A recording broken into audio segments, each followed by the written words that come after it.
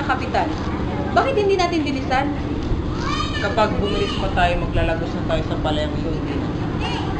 Mangyari ay wala ni isa mang maayos na lawas sa lupain ito? Halika na, Paulina. Ang lunas ay napakadali.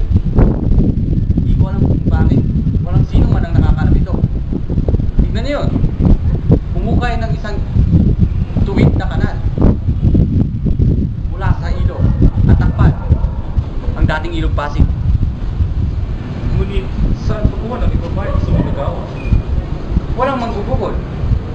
Piliting gumawa ang mga mamamayan. Bata man o matatanda. Kaguluhan lamang ay dudulot niyan. Kaguluhan? Ha? Nag-alsa na ba ang kahit minsan ang, ang bayang Ehipto? Nag-alsa na ba ang mga bilanggong Hudeo laban sa banal na dito? Tao kayo. Akala ko'y lalo kayong nakakaunawa sa kasaysayan. Ngunit ang iyong mga kaharap ay di Ehipsyo ni Hudyo. At ang lupang ito ay di minsang naghimagsik sa mga panahong ang mga taga rito ay pinipilit na maghakwat ng malaking kahoy upang gawing daong. Kung hindi, dahil sa mga pare. Ang mga panahong yaon, malayo na. Ang mga pulong ito ay hindi na muling maghihimagsik. Bigyan man sila ng lalong maraming gawain at patawan man sila ng matataas na buwis. Isang mulatok Amerikano, Idyong Ingles.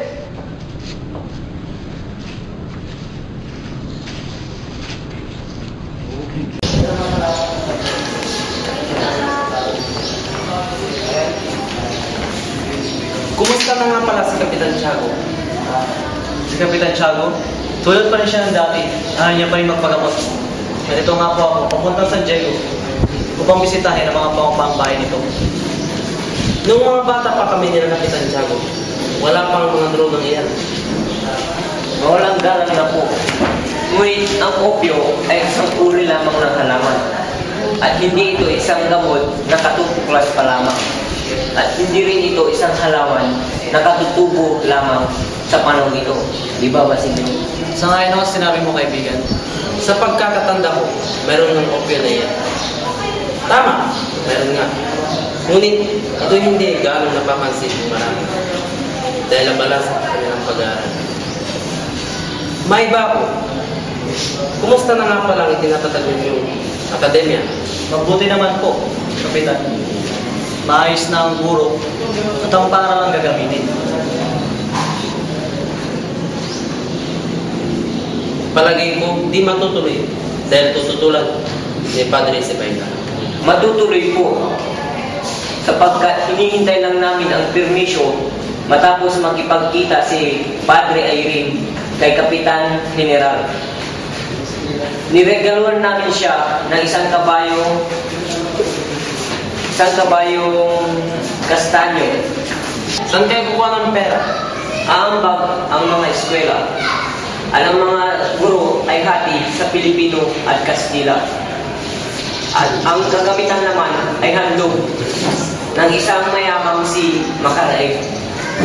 At ang kanyang bahay. Mabuti kung ganun. Sana'y magtagumpay kayo sa inyong plano. Sige, at mauna muna ako. May iba nga tayo. Kamusta na pala ang sinabi ni Tio ng iyong Tio kay Paulita? Teka kaibigan, tila nang wala ang iyong pisngi ng ating pag-usapan ng kasintahan. Ang umiibig nga naman. Sa bagay, ang iyong kasintahan kay ibig-ibig. Maganda na at mayaman pa. Kaya lang, Kaya lang, ayan, Teka kaibigan, huwag kang kabahan. Ang gusto ko lang sabihin, kaya lang, palagi niya kasama ang kanyang tiya na masungit. Palibhasa'y matanda na. Magandang araw sa inyo. Mukhang kayo nag nagkakatuwaan. Maaari ba akong makisama? Ikaw? Ikaw ba'y nagpapakasal dito? Ganoon na nga po, Ginoong Simon. At siya, sino naman siya? Kababayan mo ba siya? Hindi ko ginoo. Ngunit kami ng kaibigan, pagkakalit na kami sa bayan. Biro mo ba kayo nakapunta sa bayan nila? Hmm. Hindi talaga ako natutungo doon dahil ang mga tao ay hindi naman bumibili sa akin ng karahas. At sa tingin ko, mahihirap ang mga tao doon. Sadyang hindi kami bumibili ng inyong haras. Dahil hindi kami bumibili ng mga gamit na hindi rin namin gagamitin. Bueno, samahan niyo na lang ako sa pag-inom ng serbesa ito. Salamat Ginoo, ngunit hindi kami uminom ng alak. Hindi umiinom. Ika nga ni Padre. Masama rin uminom ng purong tubig lamang. Kung umiinom ng alak si Padre Camora, ay siguro wala silang marinig na chismis. Tama yun. Di tulad ng alkohol, ang matabang na tubig ay nakamamatay ng apoy. At kapag tubig ay nagaling, yun ay maaaring lumawak at maging dagat na handang wasak at pumatay. Kapag iyon ay pinainit at naging singaw, ay handang tumunaw. Pagpapamanin niyo ng Ginoo, kami na ay. Sapagkat ang tiyo ng aking kasama ay naghihintay sa daong hulihan ng lugar na ito. Walang anuman. Pangarap. Basilio, pawang mga pangarap. Napakatapang mo sumagot kay Don Simon. Ang taong iyan ay nakakapangilabot. Kinakatakutan ko. Siya ang tinatawag na kayo maging kardinal. Kardinal, Kamalmahalang itim kung siya mag-ibig.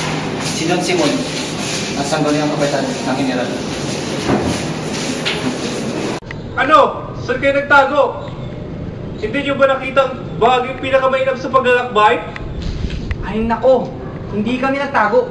Nakakita na ako ng mga ilog at tanawin. Ang may kabuluhan lang sa akin, hindi akong may mga alamat.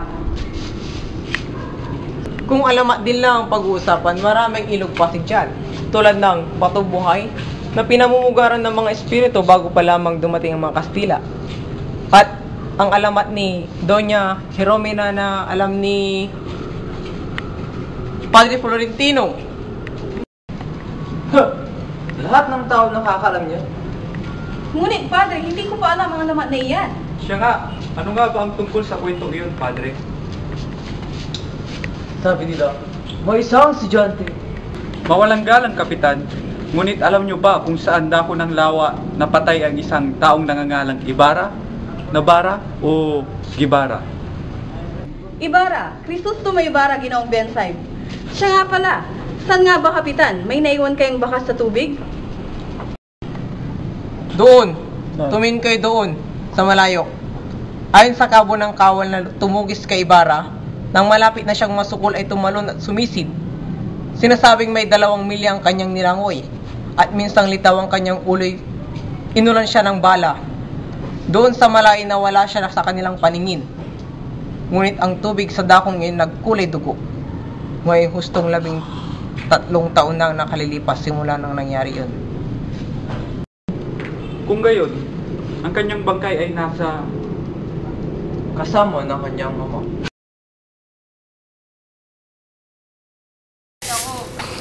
Kuya, sa inyong palagay, ako kayo makapag-aral din sa Manila tulad Aba, syempre naman. Tanong natin kay Ama. Ama, si Huli kaya kailan makakapag-aral sa Maynila? Sa isang taon, magsaya ka ng mahaba at mag-aaral ka na sa Maynila katulad ng ibang dalaga sa bayan. Talaga, Ama? Magandang ani natin, Ama. maganda. Ngunit ano ang iyong pinag-aalala? Ang mga praile, Ama, Magpaumanin ka. Pagpalagay mo na lang na ang yung salapi ay sinakmal ng isang malaking buhaya at ang mga kamag-anak mo ay sumama sa kanya. ngunit Ama, sila ay umaabuso na. Magpaumanhin ka! Bilis, Moro, mabuti yan, nandito ka. Magandang araw po, Padre. Ba't po kayo napalito? Kailangan mo nang magbayad ng buwis. Ang buwis ay dalawang daang piso. Dalawang daang piso? Ngunit yan po ay napakalaki naman. Kung hindi magbabayad, ibigay sa iba ang paglilinang dito. Tama, kung hindi ka magbabayad, ang lupain ay ipapalinang ko sa aking kasambahay. Matagal na din siyang tapat na nanilbihan sa akin. Ako ang naghirap at na magtanim at mag-ani dito. Ibinuos ko ang aking pawis at dugo upang maiyaon sa kahirapan ang aking pamilya. Ngunit hindi sa iyo ang lupang nililinang mo. Ito ay pag-aari ng ng korporasyon! Pag-aari, may kasultan ba kayo na nagpapatunay na sa inyo ang lupang ito? Meron! Nasa naman iyon? At bakit kailangan mong makita? Hindi ako magbabayad ni kalahati mang buwis.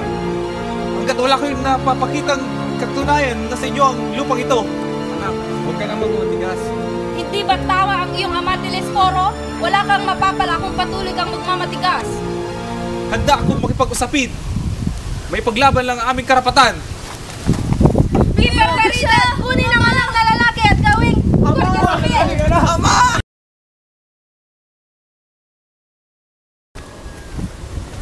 Limang dang piso lamang ang hinihingi ng aming pinuno. Kung hindi, mamamatay ang ama. Sana kukuha ng limang daang piso. Ang mga alahas, liban lamang itong Agnos. Bigay ito sa akin ni Basilio. Ngunit ito hindi sapat. Tama. Mamasukan muna ako kay Hermana Pensyang bilang katulong.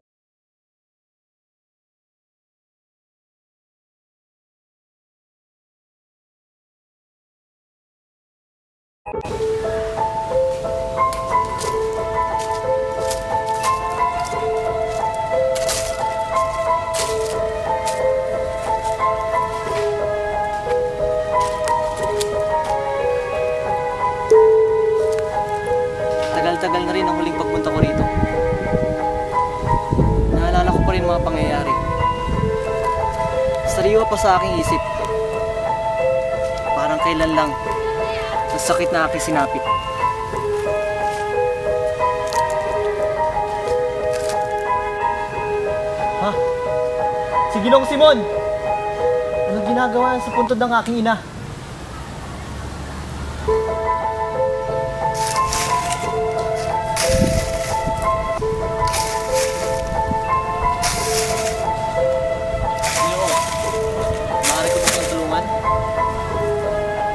Ginagawa mo sa gubat na ito?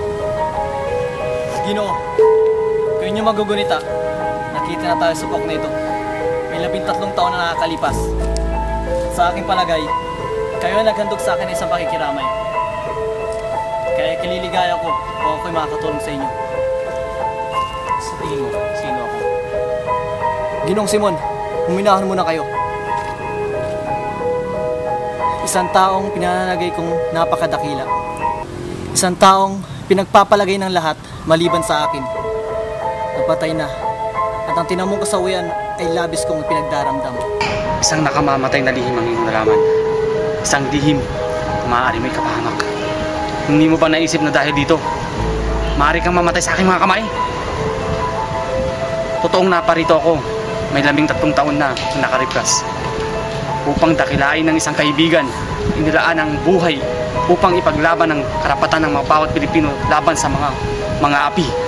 At ngayon, nagbalik ako para tuloy ang kanyang nasimulan. Hindi ko akalaing ang lason ay naiwan lubusan na kumalat sa lipunan. At ang mga kabataan, walang ginawa kundi sumunod. Magpaalipin, hindi pinakikinggan. Hindi, Ginong Simon. Kung hindi dahil sa pag-aaral ng mga kabataan ng wikang Kastila, ay hindi tayo pakikinggan ng pamalaan. At ang wikang ito ang nagbubuklod ng tuluyan sa mga Pilipino. At ano ang iyong mapapala? Kung ikaw ay makapagtapos, makikita mo bang masaya ang iyong bayan? Makikita mo bang malaya ang mga tao? At ano, yun lamang bang hahayaan ng iyong ina, kapatid, anak na mabulok sa ilalim ng lupa na tinatapakan ng mga taong sariling pumatay sa mga mga magulang? Ano ang gusto niyong gawin ko, Ginong Simon? Kaya ko ba silang ipaglaban? Ginawa ko mismo ay wala. Isa lamang akong hamak na estudyante. Wala sa buhay. Hindi maaaring hukayin ang aking ina at iharap sa hukuman ang kanyang bangkay. At pagkatapos ay mangbintang ng kung sino-sinong Kastila.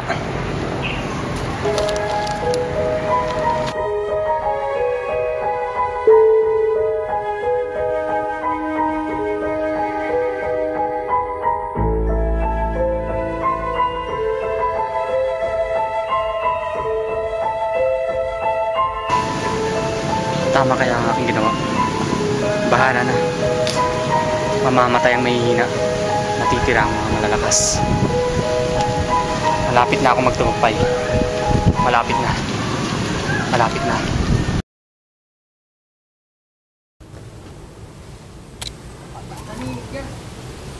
Aba, tila magaganda ang mga alahas ninyo, Ginoong Simon. Siyempre naman. Meron ako ditong kwintas na dating pagmamayari ni Cleopatra. Natagpuan pa sa pyramid. At ang isa, dating pagmamayari ng mababatas na Romano.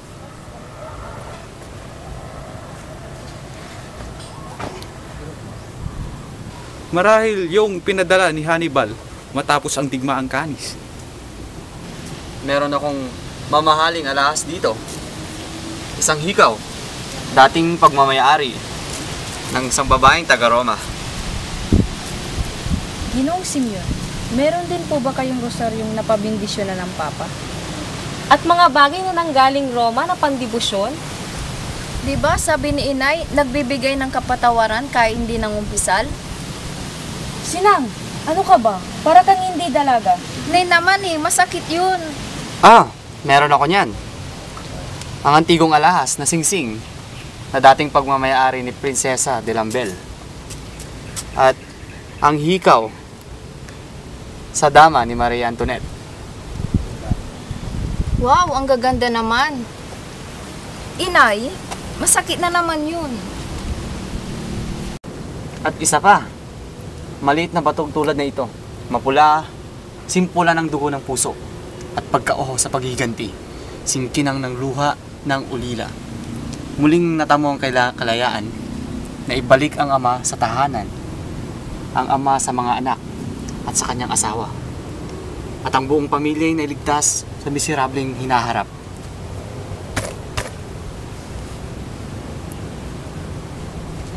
Kayo, wala na ba kayong ipagbibili? Ang lahat ng alahas ng aking anak ay naipagbili na. At ang natira ay wala ng gaanong halaga. At ang agnos ni Maria Clara, Tama. iyon ay isang lakit na may brilyante at esmeralda. Isinuot iyon ng aking matalik na kaibigan bago siya namungha.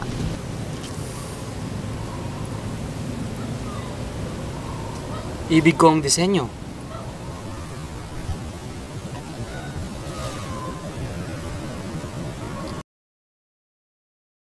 Nagustuhan ko. Ipagbibili mo ba? Ipagbibili mo ba ng limang daang piso? O ibig mong ipagpalit na lang sa iba pang alahas? Kung ako itatago ko na lang yung parang relekya, ang mga nakakita kay Maria Clara sa kumbento ay nagsasabing, siya'y payat na payat na. Mahina at halos hindi na makapagsalita. Kaya't ipinagpapalagay ng lahat na siya'y mamamatay na santa. Mataas ang pagtingin sa kanya ni Padre Salve. Siya ang padre kompresor niya. Marahil, iyon ang dahilan kung bakit ayaw ipagbili ni Huli ang Agnos at pinili pa niyang isanla ang kanyang sarili. Kung tututulan ninyo ako, ay pupunta muna ako sa bayan upang isang gulis sa aking anak. Babalik ako bago dumilim. O siya, Ginoong Simon, mauna na kami. Paalam, Ginong Simon.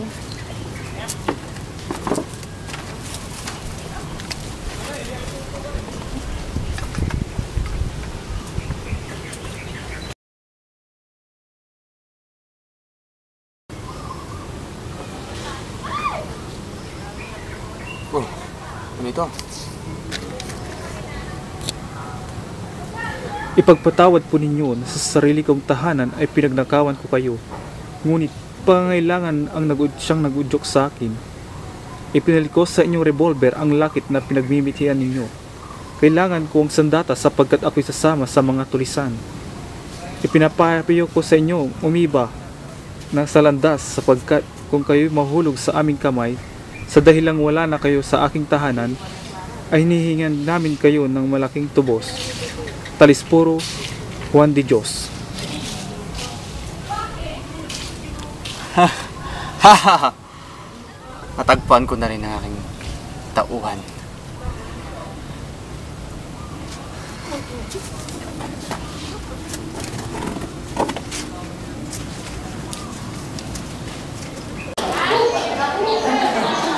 Magandang umaga. Magandang umaga. Bakit kayo sumisigaw? Hindi pa naman ako bingit. Kaya, manda sa talakayan. Ang ating leksyon ngayon tungkol sa elemento na bumubuo sa isang salamin. Sino ba magsasabi ng komposisyon nito?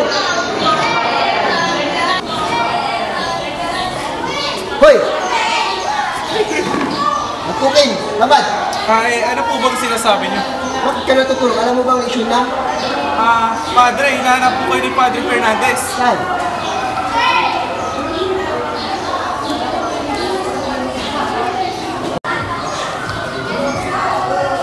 Sasamantalahin ko na ang pagkakataon ito upang tayo makapag-usap. Kaninang umaga ay nakipagkita ako kay Padre Rene. Ang sabi niya ay tutol lang lahat. Ngunit hinayaan na nila ang kataas-taasang grupo ng paaralang primarya ang Ngunit, hindi naman kumikilos ang lupong iyan.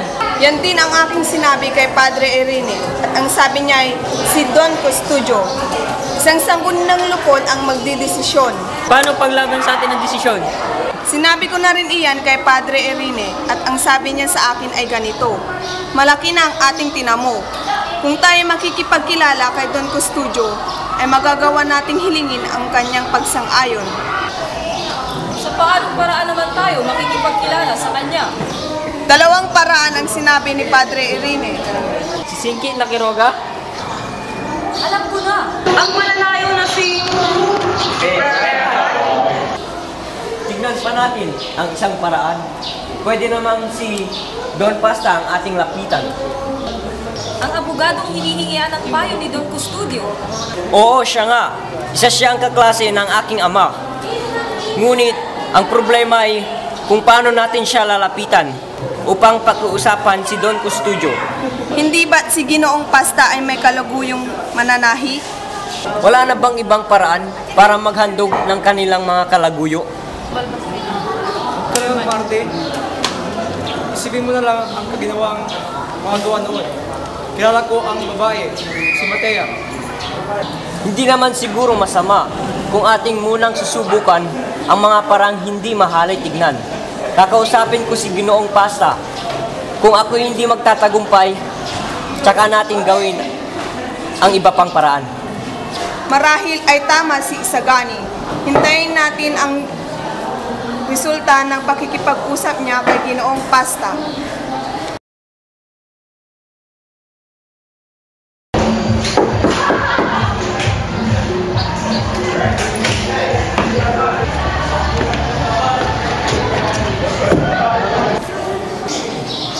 Ikaw pala, Isagani. Maupo ka.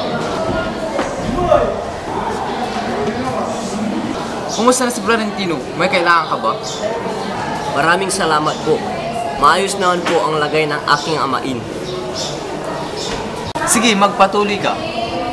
Marahil ay narinig nyo na ang tungkol sa usap-usapin namin mga estudyante na magpapatayo kami ng akademya ng wikang Kastila. Ito ay isang bayan ng mga plano at panukala. Nais namin humingi ng tulong sa inyo upang mapakiling si Don Custodio sa amin. Oo.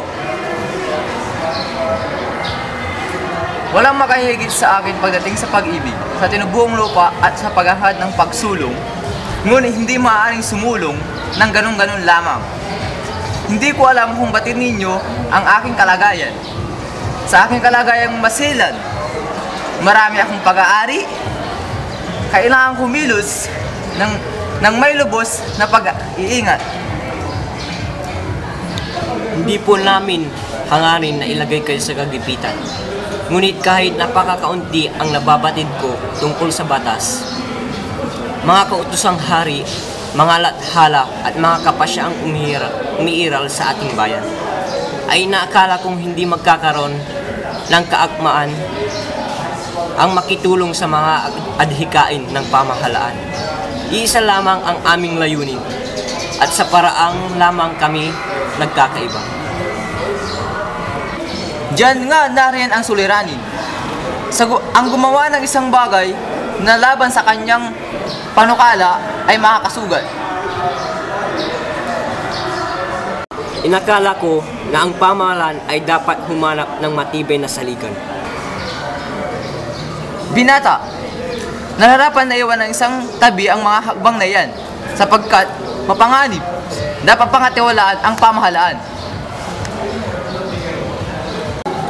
Kung gayon, mauuna na po ako.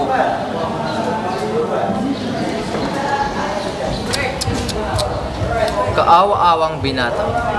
Ako man ay nagkaroon ng ganong kaisipan. Ang pagkakaroon ng sariling klema at mga sakit. Kaawa-awang binata.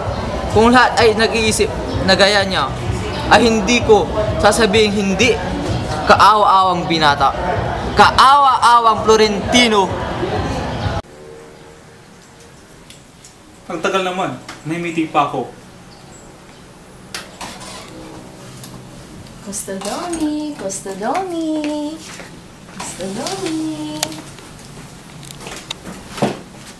Pumunta lamang ako dito upang sabihin, huwag muna tayong magkita. Nagkakagulo mga estudyante ngayon at baka ako'y pamanmanan. Custodo Costodoni, my loves naman eh. Ay! Costodoni naman eh. Sige nga, pakis na. Ano ka ba? Baka may makakita sa atin. Custodoni, alam mo kasi, namatay ang aking tiyahin at kailangan namin ng pampalibing. Tiyahin? Hindi ba tatlong taon nang patay ang tiyahin mo? Ay, kapatid pala ng tiyahin ko. Sige na, kahit 500 lang. O ito, isang libo. Wala akong barya eh. Salamat, Custodio. Pepay! Tingnan mo yun. Pera lang yata hinabol sa akin. Paano na ako ngayon? General, ang anak na dalaga ni Kabesang Talis ay nagpunta rito. Hinihiling ang paglaya ng nunong may sakit. Tatlong araw na niyang pabalik-balik dito. Siya isang kahabag-habag na dalaga. Hala, sulatan mo ang tenyente ng Guardia Civil upang palayan ang nuno ng dalaga para hindi nila sabing tayo kulang habag.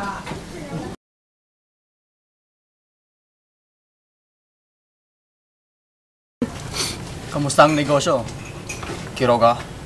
Senyo Simon, mahilap na mahilap na aking negosyo. Sukat ng daing, Kiroga. Tinulungan kita sa mga opisyal. Pinautang ko sila para di ka na manggaba.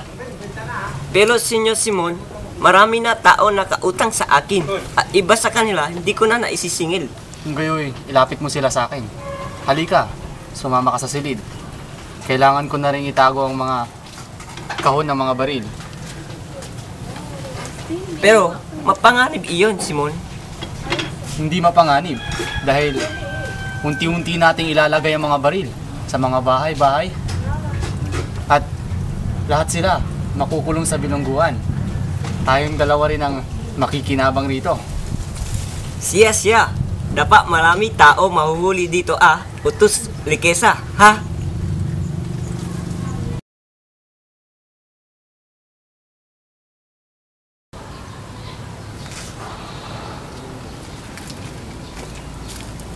Basilio.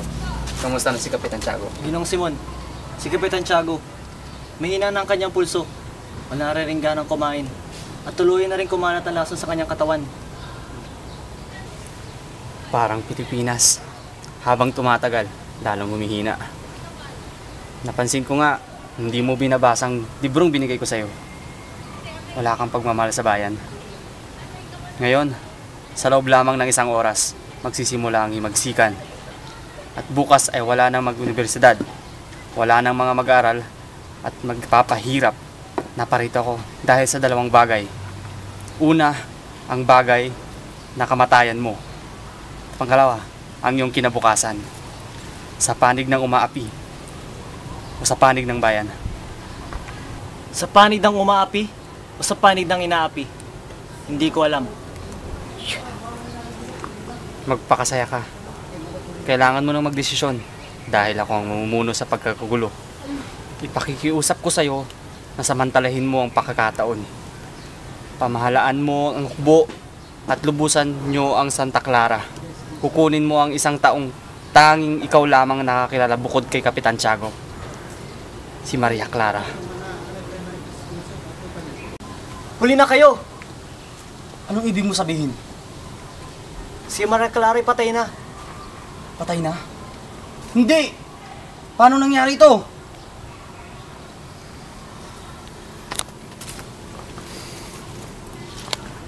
Ikaanim ng hapon nang siya ay mamatay. Naparoon ako sa kumbento upang makibalita. Nang sabihin nila sa akin na lahat, pagbalik ko ay isang liham mula kay Padre Salvi na pinaabot kay Kapitan Tiago ang dala ni Padre Rene. At dahil na rin sa sulat na ito, kung kaya tananang isang kapitan.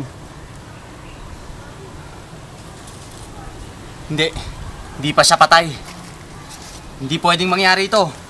Ililigtas ko siya! Ginong Simon, huminahan kayo. Wala na tayong magagawa, kundi tanggapin ang katotohanan. Namatay siya. Hindi man lang niya nalaman na ako'y buhay pa. Namatay siya. Hindi niya nalaman na ako'y nagbalik para sa kanya.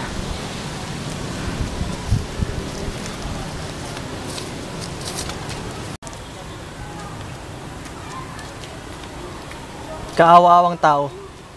Labis siya naghirap. Nagtiis siya ng napakahabang panahon para sa kanyang iniibig. At ito ang kanyang nakuhang ganti. Sadyang nakakapanghina ng damdamin.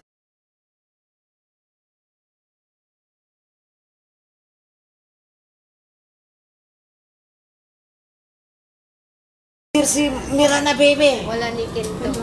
Alam niyo ba, si Paulita ay kakasal na daw kay Juanito?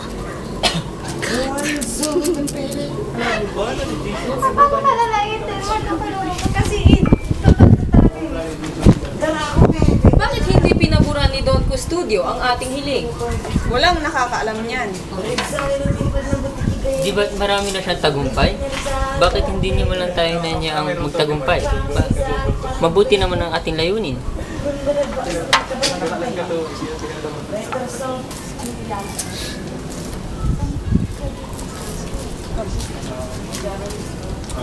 Alam niyo ba, nang mag-aalahas sa Simon Hector Pino at ipakilalang mga tao at ayaw niya magsalita, marahil ay nagbabalik pahiganti. Sabi ng mga iba, ang mga pranay daw ang umigawa. Sino ba naman sa atin ang may interes sa nangyari sa mga mag-aalahas na walang ibang nais kundi samsamin ang mga salapi ng mga Pilipino? Butit nakarating ka, Tadeo. Sana'y si Basilio na lang ang ating inanyahan. Salip na si Juanito. Mukhang wala itong balak pumunta. Oo nga naman. Bakit hindi na lamang si Basilio ang ating inanyayahan? At isa pa, kapag nalasing natin si Basilio ay maaari pa tayong makakuha ng ilang detalye tungkol sa batang moha na nawawala. Tama nga naman. O siya, masaya akong nakapagsalo-salo tayo. Maraming salamat. Siyang moha na ako yung bagay. Di yata dinakip na si Basilio, Padre Irene. Kapitan Tiago, wag!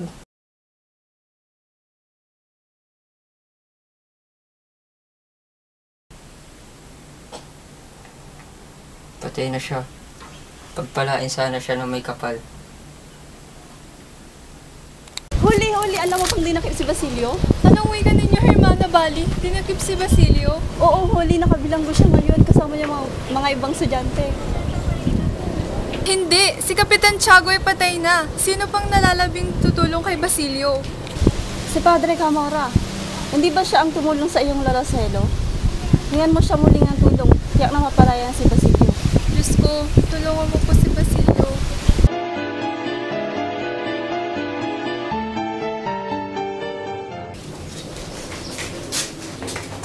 O Holy, anong iyong sadya? Kailangan ko po ng tulong, Padre Camora. Tungkol po ito kay Basilio. Sige, aking tutuparin kung ako iyong pagbibigyan. Ano po yun, Padre? Ano po yun? Tara na dito.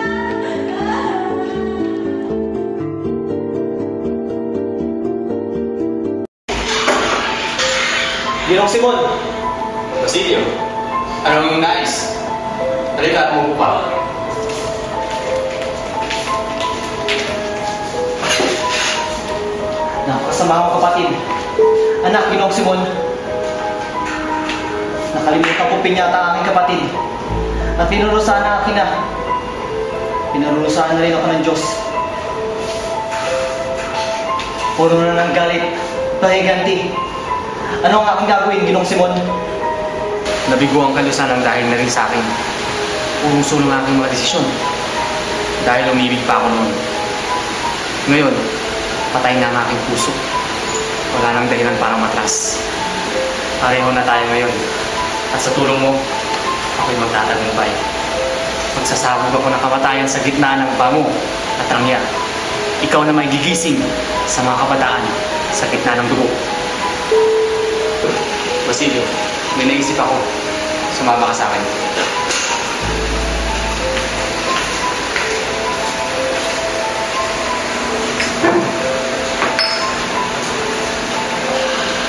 Para sa naman niyang lamparang yan?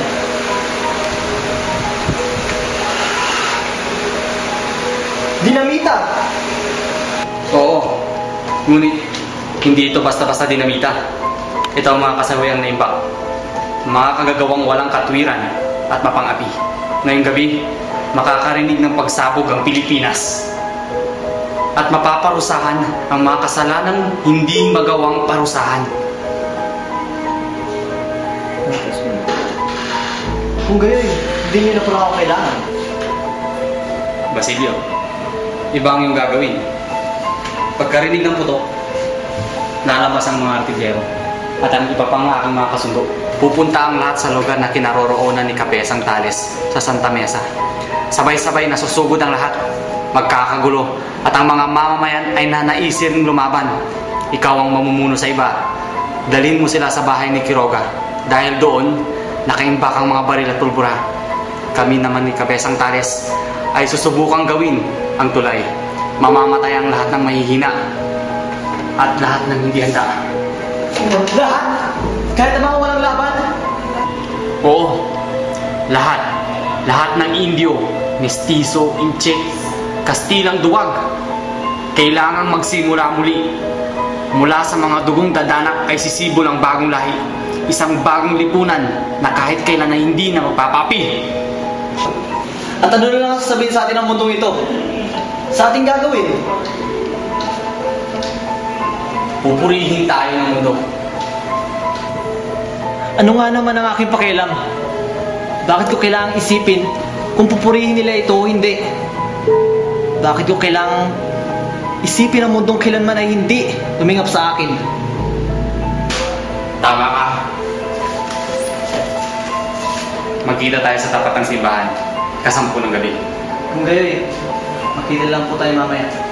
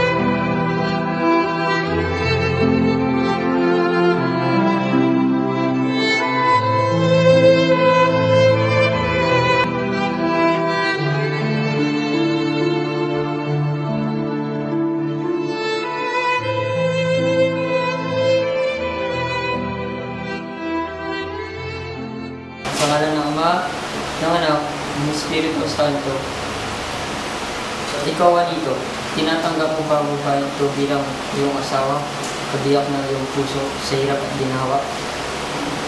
Opo, Padre. Ikaw, Paulita, tinatanggap mo ba ang lalaking ito bilang kabiyak ng iyong puso sa hirap at ginawa? Opo, Padre. Ngayon, kayong dalawa ay ganap ng kasal.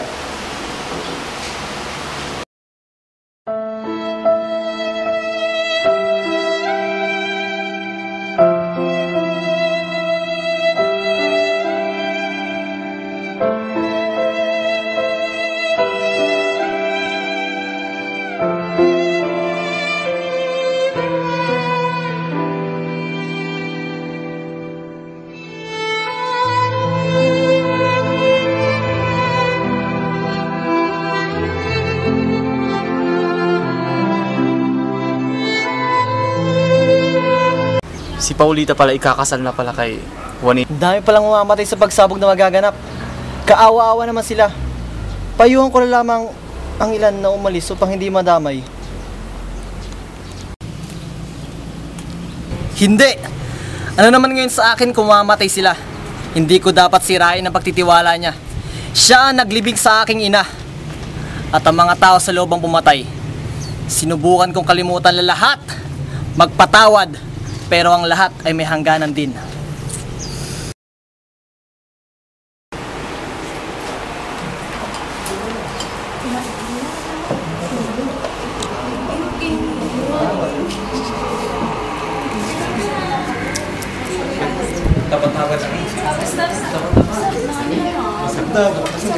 Dapat kasi ano, kaya na lang mo.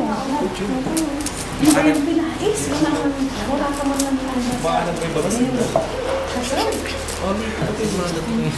Magandang araw sa inyo. Ito ang handog ko sa bagong kasal. Napakagandang ilawan. Maraming salamat dun, Simon. Maaari na ba namin itong gamitin mamaya? Oo, bakit hindi? Siya, gamitin nyo na.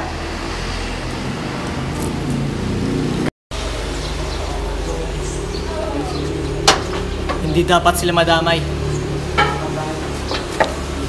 Papasukin niyo ako. Ililigtas ko sila. Hindi ka maaaring pumasok dito. Tingnan mo ang iyong suot. Hindi, papasukin niyo ako.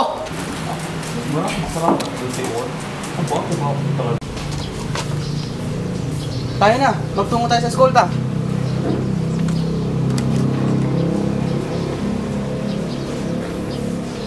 Nililigtas niya na ang kanyang sarili. Dapat ko na rin umalis.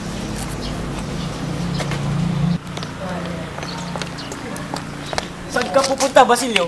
Sagani, tara na, umalis na tayo dito. Ba't ka alis? Puntahan natin siya. Gusto ko siya makita. Iba na siya bukas. Gusto, mo- gusto mo na ba na mamatay? Hindi ko alam. Makinig ka.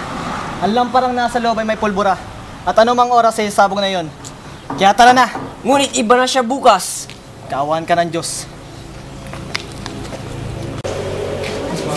Sandali. Nakasulat dito. Maliteses Pares ni Crisostomo Ibarra. Isang biro lamang yan. Hindi yun isang biro. Isang pagbabantayan mula sa matagal ng namayapa. Si Ibarra, siya ang nagsulat nito. Sulat kamay niya ito. Tuloy ang kasiyahan. Walang dapat ipangamba. Walang kwentang ganyang biro. Hindi kaya nais niya tayong patayin lahat? Padre Rene, pakitas na lamang ang mitsa. Isang saglit lamang.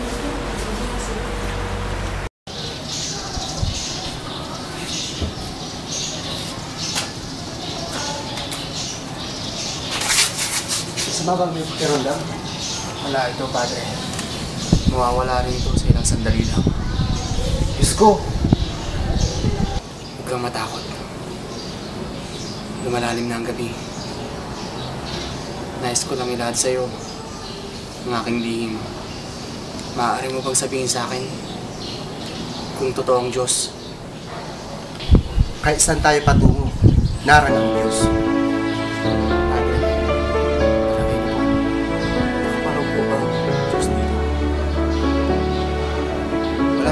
makapagsasabi ng ng Diyos. Hindi siya nagkakandang masama para sa akin.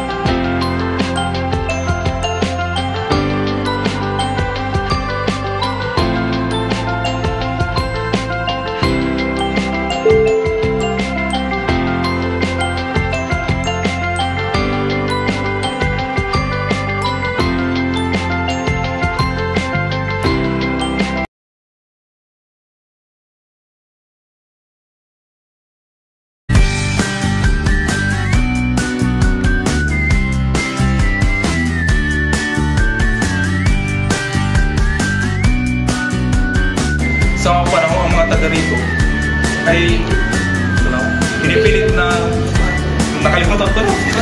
Sila yung mga pusta? Magpaumanin ka! Ang pangit mo kasi! Ang pangit mo kasi! Ang pangit mo kasi! Tama. Tama. Sorry.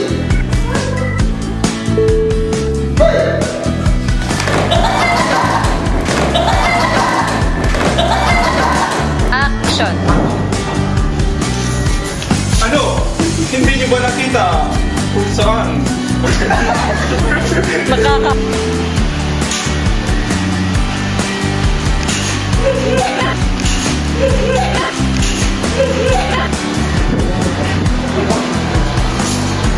Kasi, hindi naman ganun.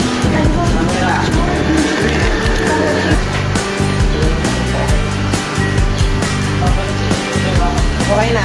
Okay na. Okay na Okay na? Okay na? Okay na? Okay na? Mo, Fred. Light. Camera. Action.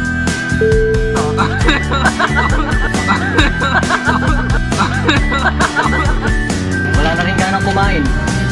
Tuluyan ng kumain sa kanyang lason, sa kanyang katawan.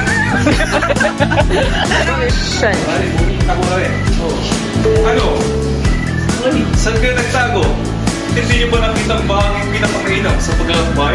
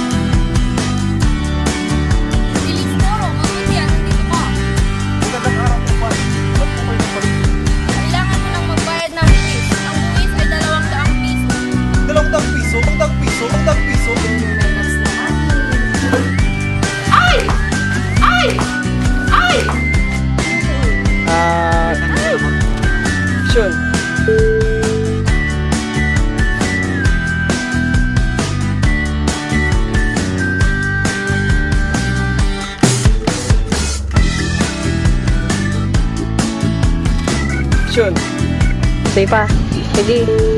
Eh, mapeler. Macho. Eh. Yo. Tara. Action! Ginong Simon.